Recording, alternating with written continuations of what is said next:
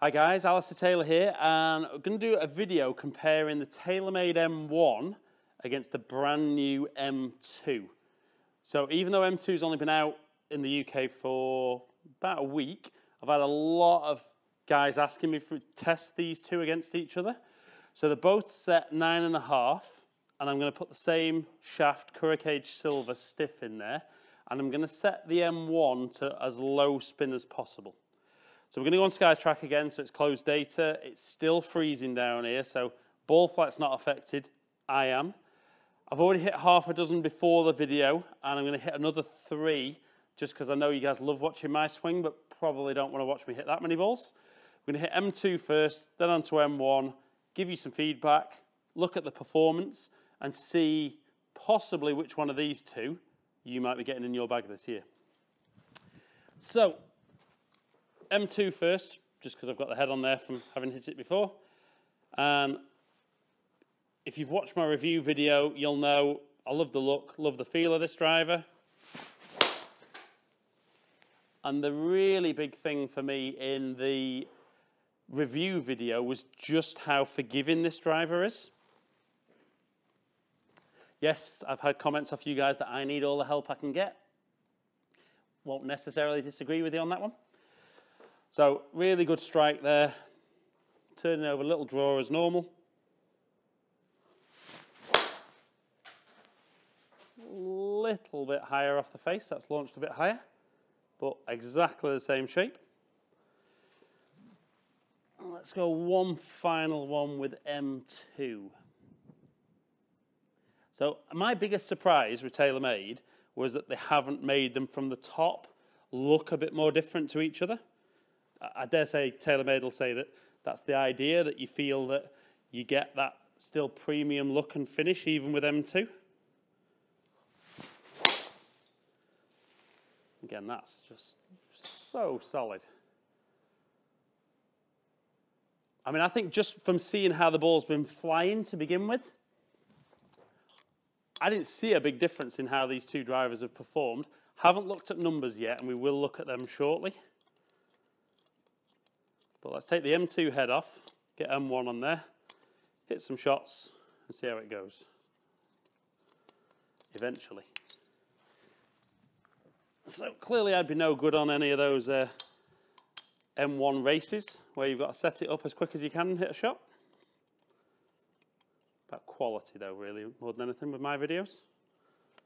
Right, so M1's good to go. And like I said, the big thing for me is you put them side by side and they just they look like the same driver from the top. Obviously underneath T-Track in the M1 and this is set as low spin as I can get it. And it clearly doesn't look like it spins a lot. Which is good. I mean, a lot of guys that I fit, I think do struggle with having too much spin.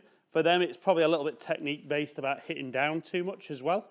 But from the initial fittings we've done with M1, have seen a benefit to being able to move the weight around at the bottom.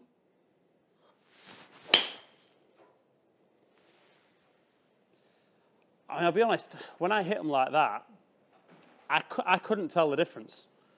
You know, if somebody just chopped and changed and said hit them, for me, I couldn't tell you whether I was hitting M1 or M2. So, one final one.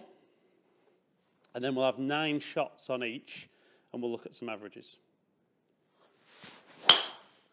Oh, that is as good as it gets. Okay, guys, so let's look at some numbers. We've got TaylorMade M1 versus TaylorMade M2. Okay, so nine shots is, a, is a good average for me then as we look at averages. Surprisingly, I've actually swung M2 a little bit quicker.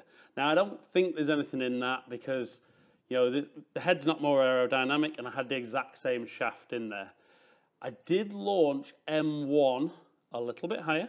Possibly that's down to me maybe just hitting that a tiny bit higher on the club face. Interestingly though, spin was almost identical.